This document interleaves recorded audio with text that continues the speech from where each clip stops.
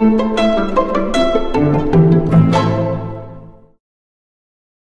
everyone. So, today we are going to start chapter 15 of class 12 biology. Okay. और topic हम लोग start करने जा रहे हैं वो है लॉस ऑफ़ बायोडाइवर्सिटी ठीक है जी when is doubtful if any new species being added through speciation into the earth treasury of species there is no doubt about their continuing losses जब ये बात होती है कि भाई नई स्पीशीज जुड़ने जा रही है हमारे इस खजाने में स्पीशीज का जो खजाना है हमारी अर्थ पे, ठीक है? इसमें एक नया रत्न आने वाला है स्पीशीज के रूप में, ठीक है? तो ये कोई डाउट की बात नहीं है कि उसी टाइम हमको लॉसेस का भी समझ आता है कि कितनी स्पीशीज कॉन्स्टेंटली लॉस करती जा रही है। हमारे खजाने से कितनी लुप्त हुए जा रही है ना? So the biological wealth of our planet has been declining rapidly बहुत तेज़ी से घट रही है। And the accusing finger pointing finger किसकी तरफ़ है भाई? क्लियरली टुवर्ड्स ह्यूमन एक्टिविटीज़ साफ़ साफ़ कहा जा रहा है कि ह्यूमंस की एक्टिविटीज़ की वजह से स्पीशीज का लॉस हो रहा है। जो शक भरी नज़रें हैं, वो ह्यूमंस की तरफ़ है भाई। ठीक है नेचर की। So the colonization of tropical Pacific island by humans is said to have led to extinction of more than वहाँ पे कॉलोनाइजेशन humans का, कहाँ पे? ट्रॉपिकल पैसिफिक आइलैंड्स पे, जाके ये जो ह्यूमंस बसने लगे हैं ना, सोचने लगे नई कॉलोनी वहाँ बना लें। इनकी वजह से more than two thousand species का लॉस हो गया है। नेटिव बर्ड्स वहाँ के जो बर्ड्स रहने वाले जो बर्ड्स थे, क्योंकि उनका हैबिटेट टूटा हैबिटेट उनका ब्रेक डाउन हो गया, है ना? हमने जाके हमारे घर बना ली, ये नहीं सोचे कि वहाँ पे जो पहले से जिनके घर बने हुए थे, हम उन पे कैसे कब्जा कर रहे हैं? है ना? तो वहाँ के जो नेटिव बर्ड्स है, लगभग दो हज़ार से ज़्यादा स्पीशीज उन बर्ड्स की खत्म हो गई, लुप्त हो गई। क्या हम लोग कभी इतना गहराई से सोचते हैं? थोड़ी सी तो इंसानियत रखिए भाई। कितनी गलत बात है।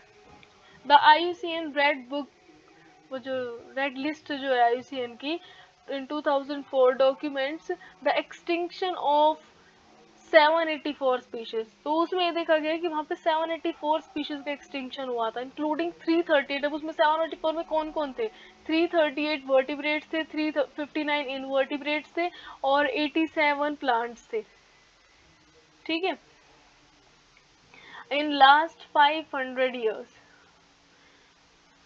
तो डॉक्यूमेंट्स कहते हैं जायुसेन की रेड बुक लिस्ट है रेड लिस्ट है है ना? रेड लिस्ट मतलब? खतरे वाली list red list red colour ही खतरे का डेंजर का साइन होता है काफ़ी जगह पे। तो यहाँ पे 2004 की लिस्ट के अकॉर्डिंग ये कहा जा रहा है कि 784 स्पीशीज का एक्सटेंशन हो चुके हैं कि खत्म हो चुके हैं, लुप्त हो चुके हैं, नहीं आएँगे वापस। उसमें 338 वर्टिब्रेट्स की थी 359 इनवर्टिब्रेट्स की थी 87 प्लांट्स की स्पीशीज थी, जो कि 500 सालों में लास्ट 500 इयर्स में खत्म हुई है। और इससे पहले जो साल थे, उनमें तो उनमें तो नहीं हुई ना? उनका भी खैर हमने बनाया नहीं, लेकिन इन 500 सालों का डेटा बनाया था इसमें सेवन एटी फोर स्पीशीज हमने लॉस की किसका किसकी वजह से हो रही है ह्यूमंस की वजह से हो रही है? ये ह्यूमंस बहुत बकवास हो गया भाई।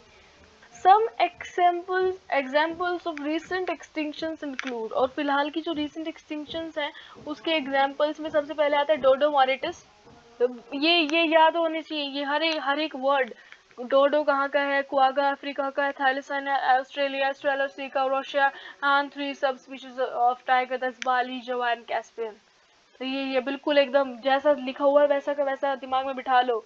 Dodo Mauritius quagga Africa, Thailand Australia. पता है क्या होता है? मैच कॉलम आ जाता है।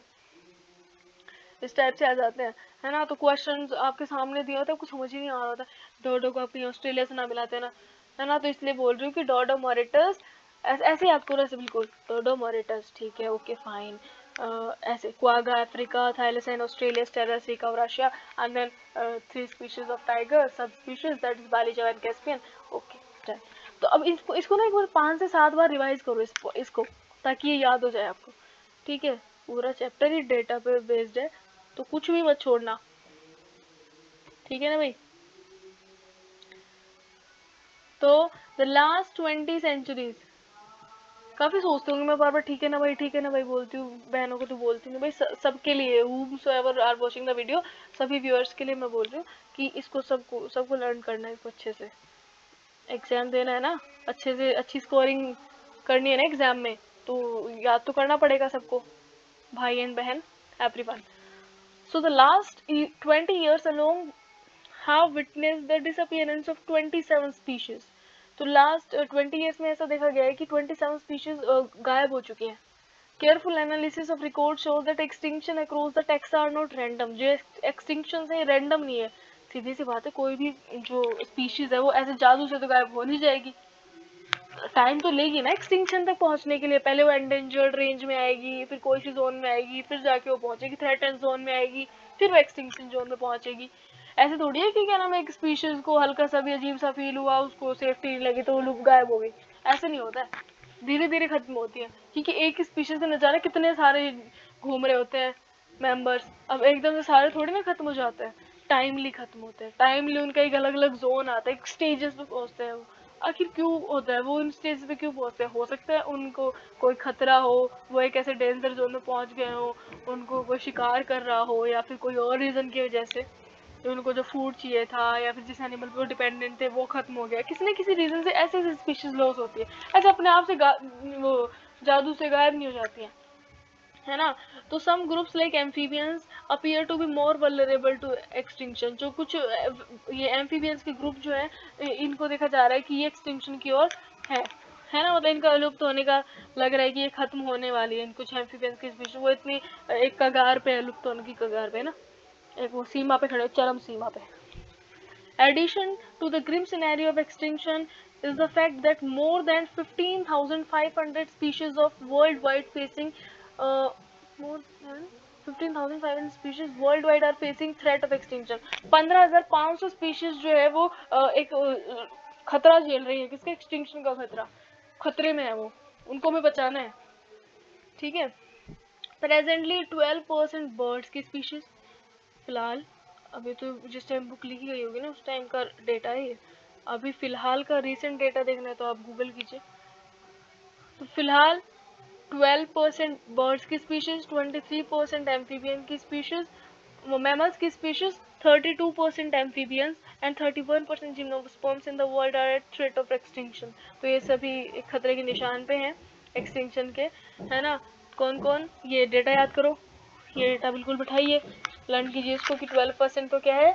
बर्ड्स की species twenty three percent mammals की थर्टी टू एम्फीबियंस की ट्वेंटी थ्री थर्टी टू ऐसे हो जाएँगे। आगे पीछे आगे पीछे डिजिट्स कर लेना। Twenty three mammals thirty two amphibians आसपास ही है, और थर्टी वन जिम्नोस्पर्म्स की स्पीशीज ठीक है?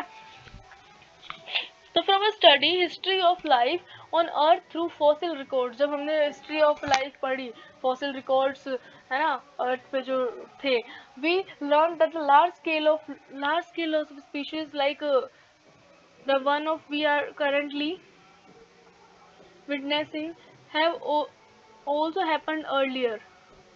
जो स्पीशीज का लॉस जो है वो पहले भी हुआ था even before humans appear human appear हुई थी उससे पहले भी स्पीशीज लॉस होती थी। The scene. During the long period of um, more than 3 billion years since the origin and diversification of life on earth जब से अर्थ का ओरिजिन हुआ है यहाँ पे लाइफ का ओरिजिन हुआ है अर्थ पे तीन बिलियन पहले से लाइफ का जो ओरिजिन हुआ है अर्थ पे और डाइवर्सिफिकेशन जो देखने को मिला है स्पीशीज में, उससे पहले से, उससे पहले से पे फाइव एपिसोड्स हुए थे मास एक्सटिंक्शन के, है ना, लुप्त होने के। पाँच एपिसोड हुए थे। How is the six extinction presently in progress different from previous episodes तो ये जो फ़िलहाल जो छठा जो एक्सटिंक्शन का एपिसोड चल रहा है ना, ये कैसे अलग है पिछले पाँच एक्सटिंक्शन के एपिसोड से? वो बताएँगे लोग। The difference is in rates rates में डिफरेंस आया है। जो पहले जैसे मान लीजिए extinction the current species extinction rates are estimated to be hundred to one thousand times faster पहले जैसे मान लीजिए किसी स्पीड से होता था एक्सटिंक्शन किसी स्पीड से एक्सटिंक्शन चल रहा था, हमें नहीं पता। कुछ भी आप एज्यूम कर लीजिए, ठीक है? जैसे पाँच की स्पीड से चल रहा था, दस की स्पीड से एक्सटिंक्शन चल रहा था, है ना? मतलब इतने इतने, पाँच स्पीशीज पर ईयर मरती थी लुप्त होती थी एक्सटिंक्ट होती थी, इसका मतलब ये है, ऐसे समझिए, है ना? टाइम के हिसाब से कैसे एक्सटिंक्शन बता रहे हैं वो। तो five episodes of mass extinction हो चुके हैं, लेकिन छठा अलग कैसे है, ये जो सिक्स एपिसोड है ना, ये hundred to thousand time faster है उन एक्सटिंक्शन स्पीड से, उस दर से, उस रेट से, है ना? तो इसी वजह से इससे अपन कह रहे हैं, आप लोग सोचोगे कि बार बार हम ह्यूमन को ही क्यों पॉइंट आउट कर रही हैं बुक्स ये ह्यूमंस के ऊपर ये डेटा बार बार ह्यूमन पे क्यों आ रहा है? इसलिए आ रहा है। क्योंकि पहले भी हुए थे एक्सटिंक्शन ऐसा नहीं है कि ह्यूमंस के सामने ही हो रहे लेकिन जो रेट में जो फ़र्क आया ना, वो ह्यूमंस की वजह से आया ह्यूमंस ने ऐसी एक्टिविटीज़ की हैं, ऐसे कुछ काम किए है कि इस वजह से एक्सटिंक्शन का जो दर है ना, इन प्रजातियों के लुप्त होने का अलग अलग स्पीशीज के एक्सटिंक्शन का जो रेट है, वो बहुत बढ़ गया है। Then in pre human times human times में ये इतना नहीं था, ये एक्सटिंक्शन का रेट लेकिन अब बढ़ गया है। And our activities are responsible और इसीलिए ह्यूमंस की एक्टिविटीज़ ह्यूमंस जिम्मेदार है इस वजह, इसकी। इस लॉस के ह्यूमंस ही जिम्मेदार हैं। They are responsible for this okay faster rate ecologist want that if the present rate trends continue अगर यही कंटिन्यू रहा ना ये ट्रेंड लॉस का, nearly half of the old species on the earth might be wiped out within next 100 years. सिर्फ़ एक century लगेगी और आधी से ज़्यादा स्पीशीज हमारे अर्थ पे जो प्रेजेंट है वो खत्म हो जाएगी, लुप्त हो जाएगी वाइप आउट हमेशा के लिए. ओनली अ सेंचुरी और टाइम कितना लगता है? डाइवर्सिटी फ्लरिश होने में टाइम कितना लगता है? Millions of years here only one century only one century is demanded सब खत्म हो जाएगा. मैक्स टू मैक्स एक और सेंचुरी ले लो, सब खत्म. और फिर आप रह पाओगे? अगर सब स्पीशीज ही खत्म हो जाएँगे तो क्या आप ज़िंदा रह पाओगे क्या? स्पीशीज में तो प्लांट्स की भी आते हैं एनिमल्स की भी आते हैं, और हम लोग फ़ूड के लिए किस पे डिपेंडेंट है? प्लांट्स पे है. एनिमल्स के लिए एनिमल्स के ऊपर क्यों डिपेंडेंट है? डेयरी प्रोडक्ट्स के लिए. तो हर चीज़ हर चीज़ के लिए हम परेशान हो जाएँगे। ठीक है? तो ऐसा नहीं करो भाई। मैं ऐसे नहीं कह रही, मेरे व्यूअर्स कर रहे हैं। बट ये एक समझने वाली बात है। हम सबको बैठना चाहिए एनालिसिस करना चाहिए, है ना? ऐसा मतलब एक कंसर्न एक चारों तरफ़ ऐसे पोस्टर्स बैनर्स वो क्यों लग रहे save water save life save this save that save forest save कीजिए, ये कीजिए। क्यों लग रहा है? ये सब क्यों हो रहा है? हमें सोचने की ज़रूरत है। हम लोग अपनी नीड्स अपनी ग्रीड्स में इतने पागल हो गए कि हम लोग ये नहीं देख पा रहे हैं वो क्या चल क्या रहा है मतलब बाहर। सिर्फ़ हमें अपना, आप अपन सेल्फ सेल्फ सेंटर्ड हो गया ह्यूमन इतना ज़्यादा सेल्फ सेंटर्ड हो गया वो बिल्कुल नहीं सोच रहा है। किसी भी ह्यूमैनिटी तो मतलब खत्म हो गई ज़ीरो से भी नीचे माइनस खत्म, बिल्कुल। कुछ नहीं है ह्यूमैनिटी के नाम पे इंसानों में। You know every day every day newspaper में आप लोगों को इंसान जानवर जैसा नज़र आएगा। आप लोग न्यूज़पेपर न्यूज़ पढ़ के देखिए आप हर दिन की। मंडे पॉजिटिव बोलते पर मंडे पे भी पूरे नेगेटिव वो कोशिश करते हैं बेचारे न्यूज़पेपर वाले कोई पॉजिटिव न्यूज़ देते हम। पर नेगेटिव इतनी बढ़ चुकी है ना तो मतलब ये गलत है। समझ रहे हैं आप लोग? In general loss of biodiversity in a region में lead to decline in plant production biodiversity के लॉस की वजह से प्लांट का प्रोडक्शन कम होगा. Lowered resistance to environmental perturbation such as drought जैसे कि सूखा वगैरह पड़ता है एनवायरमेंट के एनवायरमेंटल जो प्रॉब्लम्स आती हैं, जो ट्रेजडीज होती हैं, उनका रेजिस्टेंस उनके लिए रुकावट बनी हुई थी ये स्पीशीज का, इतनी सारी स्पीशीज थी तो हम लोग इतना जल्दी से हमारे पास नहीं पहुँच पाती है वो आपदाएँ नेचुरल कैलमिटीज इतनी आसानी से डायरेक्टली हमको हिट नहीं करती हैं। लेकिन जैसे जैसे स्पीशीज लॉस होंगी, है ना अर्थ पे से तो ये हमको डायरेक्ट हिट करेंगी। तब हमें पता चलेगा कि ड्रॉट क्या होता है, ये जो बाढ़ आती है, ये क्या होता है। बाढ़ काफ़ी टाइम क्या होता है कि जंगल वाले ऐसे ऐसे एरियाज़ में रह, आके चली जाती हैं। दूर से हमको मतलब पता भी नहीं चलता है। और नेचुरल कैलिमिटी दूर से टल गई। अब ये आपदाएँ हमको हिट करेंगे डायरेक्टली है ना? इसीलिए कह रहे हैं कि आप मतलब अगर स्पीशीज का लॉस हो रहा है तो अपन अपनी ही पैर पे कुलाड़ी मार रहे हैं राइट अपने पैर पे कुलाड़ी मारने वाली चीज़ सीन है कि आप खुद ही खुद का नुकसान कर रहे हो।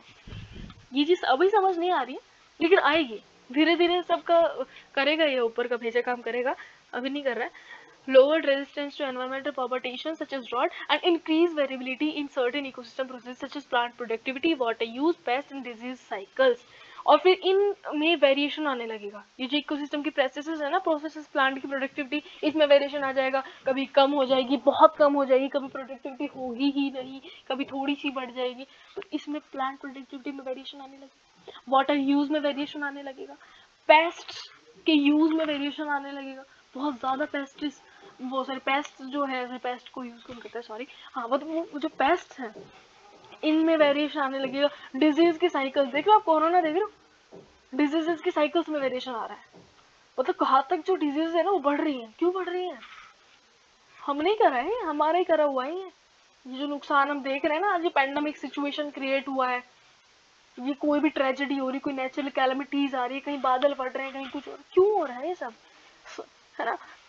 ये हमारे ही किए करे हैं, जो हमें सामने आ रहे हैं, हमारे किए हुए कुछ काम ऐसे हैं लॉसेस हम, अब हम हम झेल रहे हैं, है ना? ऐसा बोलते हैं ना कि नेचर मतलब आप लोगों को नेचर कब परेशान करता है? जब आप लोगों ने नेचर को बहुत ज़्यादा एक्सीड कर दिया ना लिमिट लेस परेशान किया हो, तब होता है ऐसा। कॉजेज ऑफ़ बायोडाइवर्सिटी लॉसेज अब देख लेते हैं कि बायोडाइवर्सिटी लॉस के कारण क्या है। फटाक से देखते हैं। The accelerated rates of species extinction that the world is facing now are largely due to human activities कोई जगह नहीं छूटी है चाहे ह्यूमन की एक्टिविटीज़ का नाम ना आया हो। हर जगह रिकॉर्ड बना के मानते हैं। There are four major causes चार मेजर कॉजेज है। द एविल क्वार्टेट है ना? ये ये ये याद रखने वाला पॉइंट है। बिल्कुल अच्छे से मैं तो कह रही हूँ पूरा चैप्टर ही ऐसा है। सब याद रखना पड़ेगा इसमें और बहुत इजी है फटाक से हो जाएगा कवर है ना? हैबिटेट लॉस एंड फ्रेगमेंटेशन सबसे पहला क्या है? जो कॉज ऑफ़ बायोडाइवर्सिटी लॉस है वो सबसे पहला है habitat loss and fragmentation this is the most important cause driving animals and plants to extinction ये सबसे इंपॉर्टेंट कॉज है जिसकी वजह से प्लांट्स एंड एनिमल्स का एक्सटिंक्शन हो रहा है। The most dramatic example of habitat loss come from tropical rain forest सबसे जो एग्ज़ाम्पल uh, जो कि सबसे ज़्यादा वेल नॉन है है ना हैबिटेट लोग का वो ट्रॉपिकल रेन फॉरेस्ट में देखा जा रहा है once covering the 14 percent more than 14 percent ये कवर कर, किया करते थे अर्थ के लैंड सरफेस का अब ये less than 6 percent cover no more than 6 percent यानी कि 6 परसेंट से भी कम ही कवर कर पा रहे हैं ट्रॉपिकल रेन फॉरेस्ट मतलब इतनी ज़्यादा कटौती हो गई इतना कम हो गया फॉरेस्ट है ना? They are being destroyed fast इनके तेज़ी से इनको खत्म किया जा रहा है। By the time you will finish the chapter reading this chapter thousand more hectares of the rain forest would have been lost तो जब तक आप ये चैप्टर खत्म करेंगे, तब तक थाउज़ेंड मोर एक हज़ार से ज़्यादा हेक्टेयर और लॉस हो चुका होगा रेन फॉरेस्ट का। So the Amazon forest lungs of the planet it's so huge known is lungs of the planet harbouring millions of species हमने पहले पढ़ा था कि कौन कौन सी स्पीशीज थी? फोर्टी थाउज़ेंड प्लांट है ना? थ्री थाउज़ेंड बर्ड्स नहीं thirteen hundred bird three thousand fishes and all and all and all four twenty seven four twenty seven three seventy eight one lakh twenty five thousand याद आ रहा होगा? है ना? Three thousand forty thousand thirteen hundred अब आगे लगा लेना क्या था? मुझे तो याद है लेकिन आप लोग भी याद करो। है ना? So the amazon forest harboring uh, probably millions of species is cut and cleared उसको कट किया जा रहा है उसको क्लियर किया जा रहा है just for cultivating soybeans soybeans के कल्टिवेशन के लिए। और फिर कन्वर्जन टू ग्रासलैंड उसको ग्रासलैंड में कन्वर्ट करेंगे ताकि बीफ कैटल्स को रेज कर सके यानी कि उनको वहाँ पे ग्रो करवा सके। So besides the total loss the degradation of many habitats by pollution also threatens the survival of many species तो पॉल्यूशन की वजह से भी बहुत से हैबिटेट्स लॉस हो जाते हैं डिग्रेड हो जाते हैं ख़राब हो जाते हैं है ना? तो, तो वहाँ की जो स्पीशीज उनका रहना मुश्किल हो जाता है दुशवार हो जाता है मतलब जीना उनका है ना? When the large habitats are broken into smaller one.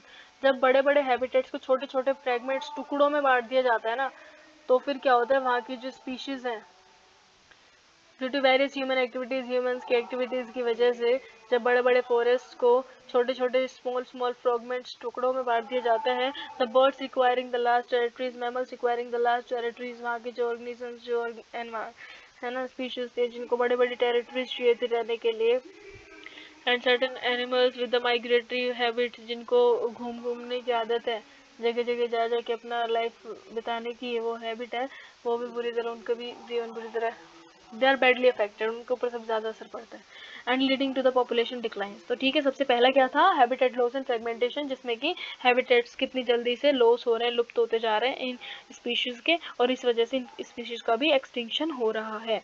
तो सबसे पहला reason cause of species extinction cause of biodiversity losses था हैबिटेट एंड फ्रेगमेंटेशन दूसरा ओवर एक्सप्लोइटेशन यानी कि ज़्यादा यूज़ करना एक्सप्लोइट करना, है ना?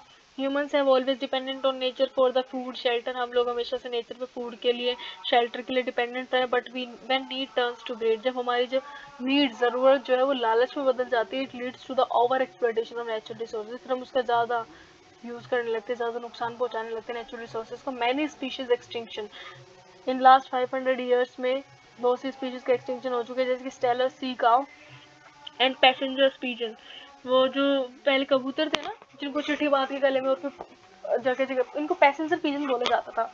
है ना? अब ये तो मुझे पता नहीं, वो इसी एड्रेस पे कैसे पहुँचते थे, लेकिन वो वाले जो पीजन्स थे, वो खत्म हो चुके हैं। स्टेलर सी का वो खत्म हो चुकी है है ना? फाइव हंड्रेड ईयर्स में। तो क्यों ओवर एक्सप्लोटेशन उनका ज़्यादा से ज़्यादा फ़ायदा उठाया गया गलत?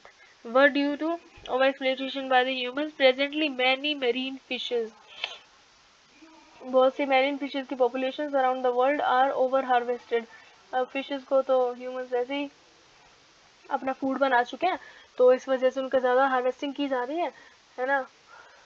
Honey making and all purpose की वजह से तो वो एंडेंजर्ड और एक्सटिंक्शन की कगार पे है। जल्दी वो लुप्त हो जाएँगे। कमर्शियली इम्पोर्टेंट स्पीशीज जो कमर्शियल स्केल पे जिनको यूज़ किया जाता है है ना? उन स्पीशीज का लॉस होने का चांसेस है। Next is alien species invasion अब एलियन स्पीशीज इन्वेशन क्या कहता है? When an alien species are introduced, अगर एक alien species को unintentionally, हमें नहीं पता था कि वो species इतनी घातक होगी, इतनी तबाही मचाएगी जब उसको बिना जानकारी के हम लोग किसी भी पर्पज से, उसके ब्यूटीफुल फ्लावर्स या फिर वो सुंदर दिखती है या फिर कोई भी रीज़न से अगर हम स्पीशीज को इंट्रोड्यूस कर देते हैं some of them some of them turn invasive वो बहुत ज़्यादा घातक हो जाती है, नुकसानदायक हो जाती है कॉजेज द डिक्लाइन और एक्सटिंक्शन ऑफ़ इंडिजिनियस स्पीशीज तो वो वहाँ पे जो रहने वाली स्पीशीज हैं, उनको नुकसान पहुँचाती हैं, है ना? The Nile perch introduce in Lake Victoria जो नील पर्च है, उसको जब हमने लेक विक्टोरिया में इंट्रोड्यूस किया था East Africa led to the eventually extinction of more than unique extinction of an ecologically unique assemblages of more than 200 species of cichlid fish तो वहाँ पे 200 से ज़्यादा सिचलेट फ़िश की जो स्पीशीज थी, उनको उन्होंने नुकसान पहुँचाया था। वहाँ उतन वो सभी स्पीशीज क्या हो गई थी? एक्सटिंक्ट हो गई थी। More than two species cichlid fish की खत्म हो गई थी। ठीक है? You must be familiar with the environmental damage caused and the threat posed to our native species by invasive weeds तो जो हमारे, वो जो वीड स्पीशीज जैसे कैरेट ग्रास के बारे में पहले भी हम लोग डिस्कस कर चुके हैं, जो पार्थेनियम इसने कितना, इसकी, ये एक इन्वेजिव स्पीशीज है। इसकी वजह से कितना नुकसान पहुँचा था हमारी जो एनवायरमेंटल फ्रेंडली जो स्पीशीज हैं क्रॉप्स वगैरह की, है ना? Lantana and the water hyacinth lantana and the water hyacinth जिसको इकॉर्निया भी बोला जाता है वाटर हाइसिंथ इसको इसके ब्यूटीफुल फ्लावर्स की वजह से इंट्रोड्यूस किया था। इसका तो रीज़न मुझे पता है है ना?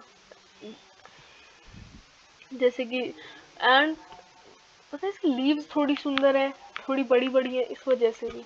So the recent illegal introduction of African catfish that is Clarias gariepinus for the aquaculture aquaculture purpose के लिए एक्वाकल्चर का मतलब क्या होता है कि इससे भी फ़ूड वगैरह प्रोवाइड होता है बहुत से लोगों के लिए। ये फ़ूड का सोर्स बना हुआ है एक्वाकल्चर भी है ना? तो इसको इसलिए डाला गया था इंट्रोडक्शन करवाया गया था इसका क्लेरियस गैरीपाइनस का इसकी वजह से इंडिजिनियस हमारी जो इंडिया की जो यहाँ पे जो रहने वाली कैटफिश है, उनको बहुत नुकसान पहुँचा था। ठीक है? नेक्स्ट इज़ को एक्सटेंशन तो किस किस वजह से बायोडाइवर्सिटी का लॉस होता है? सबसे पहले हैबिटेट लॉस फ्रेगमेंटेशन दूसरा था ओवर एक्सप्लोइटेशन तीसरा था किसी एलियन स्पीशीज के इन्वेजन की वजह से चौथा है को एक्सटिंक्शन तो देखो फ़र्स्ट और सेकंड तो ह्यूमन एक्टिविटी की तरफ़ इशारा करता है. जो एलियन स्पीशीज इन्वेजन है, ये भी कहीं ना कहीं ह्यूमन की ही है. मिस्टेक या फिर कोई और रीजन से वो स्पीशीज वहाँ आ गई हो, है ना? कोई भी रीजन की वजह से आ गई हो तो ये ये पूरी तरह ह्यूमन का किया हुआ नहीं हो सकता. ये ह्यूमन का किया हुआ नहीं है पूरी तरह. ये एक अनजाने वाली गलती। नेक्स्ट इज़ को एक्सटिंक्शन ये क्या है? When a species become extinct जब कोई स्पीशीज एक्सटिंक्ट हो जाती है। Extinct the plant and animal species associated with it in obligatory way obligation मतलब? बस वही, उसके अलावा कोई नहीं। समझ आ रहा है ऑल्सो बिकम एक्सटिंक्ट मतलब जो स्पीशीज उस पर डिपेंडेंट थी और वो उसके अलावा जी भी नहीं सकती, रह भी नहीं सकती, है ना? वो एक्सटिंक्ट हो जाती है। When host fish species become extinct, its unique assemblage of parasites also meet to the same fate. बताइए मतलब क्या क्या लाइफ है? स्पीशीज उस फ़िश की जब तक थी, तब तक उसके ऊपर रहने वाले पैरासाइट्स भी थे ज़िंदा। जैसे वो चलेगी, वो भी चलेगा। इसे कहते हैं दोस्ती। सेम फेट है ना अनदर एग्ज़ाम्पल वो फैकल्टेटिव लोग तो बेकार होते हैं मतलब नहीं हुए तो कोई नहीं हम दूसरे से काम चला लेंगे ये ऑब्लिगेटरी वाले यहाँ पे ऑब्लिगेटरी की बात हो रही है बिल्कुल उसी पे डिपेंडेंट उसके अलावा कोई नहीं है ना Another example is the case of co-evolved plant pollinator mutualism. Fig, fig plant and wasp. अगर मान लीजिए wasp की species लुप्त हो जाती तो फिग प्लांट का pollination नहीं होगा. What the hell? तो अनदर एग्ज़ाम्पल ऑफ़ कोई वर्ल्ड प्लांट पॉलिनेटरी म्यूचुअलिज्म तो ये दूसरा एग्ज़ाम्पल क्या है इसका? Plant pollinator mutualism where extinction of one invariably leads to extinction of other एक एक्सटिंक्शन की वजह से दूसरे का भी एक्सटिंक्शन हो जाएगा। ठीक है? नेक्स्ट इज़ बायोडाइवर्सिटी कंजर्वेशन तो इस टॉपिक को हम लोग नेक्स्ट वीडियो में कंटिन्यू करेंगे। तो इस वीडियो में हम लोगों ने कॉजेज ऑफ़ बायोडाइवर्सिटी लॉस क्यों क्यों हुए तो क्या क्या कॉजेज थे? वो थे over exploitation habitat loss and fragmentation और भाई एक था एलियन स्पीशीज का इन्वेजन और लास्ट था को एक्सटिंक्शन उससे पहले हम लोगों ने लॉस ऑफ़ बायोडाइवर्सिटी के बारे में पढ़ा कि कितने कितने स्पीशीज और ह्यूमंस की वजह से क्या क्या लॉस हुए, क्या नहीं हुए। So this was the video of this तो नेक्स्ट में हम लोग कंटिन्यू कर ही रहेंगे बायोडाइवर्सिटी के कंजर्वेशन को। सो तब तक के लिए not forget to hit the subscribe button do like share and subscribe the video as much as you can bell icon को प्रेस करना ना भूलें। और कोई भी डाउट क्वेरी है तो कमेंट सेक्शन में जाके कमेंट कर दीजिए या नोट्स की पीडीएफ का लिंक डिस्क्रिप्शन में मिल जाएगा। So please do like share and subscribe the video thank you